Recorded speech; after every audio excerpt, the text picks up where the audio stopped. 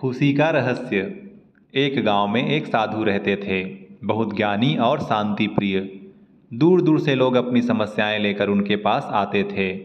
वे सभी की समस्याओं को बहुत धीरज के साथ सुनते थे और बड़े प्रेम से उनका मार्गदर्शन करते थे। उनके पास आने वाले लोग वापस जाते समय खुद को बहुत हल्का महसूस करते थे। एक बार एक व्यक्ति उनके पास आया और बोला महाराज, मैं आपसे खुश रहने का रहस्य जानना चाहता हूँ। मुझे यह रहस्य बताइए, ताकि मैं हर समय खुश रह सकूँ। साधु उसे अपने साथ जंगल में ले गए।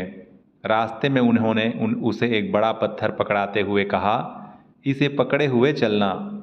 वह आदमी पत्थर उठाकर साधु के पीछे चलता रहा। थोड़ी देर में उसके हाथ में पत्थर के वज़न से दर्द होने लगा। पहले तो वह चुप रहा, लेकिन कुछ देर बाद ही बोल उठा। महाराज, पत्थर से पीड़ा हो रही है। तब साधु ने कहा, ठीक है, पत्थर नीचे रख दो। यही है खुश रहने का रहस्य। वह आदमी हैरान होते हुए बोला, मैं समझा नहीं। साधु ने कहा, जिस तरह पत्थर को कुछ मिनट उठाने पर थोड़ा और फिर कुछ घंटे उठाने पर ज़्यादा दर्द होता है, उसी तरह तुम दुखों और चिंताओं के बोझ को जितने ज़्यादा समय तक दिल पर उठाए रखोगे तुम्हें उतना अधिक दुख होगा, इसलिए दुख के इस पत्थर को नीचे रखना सीख लो। धन्यवाद।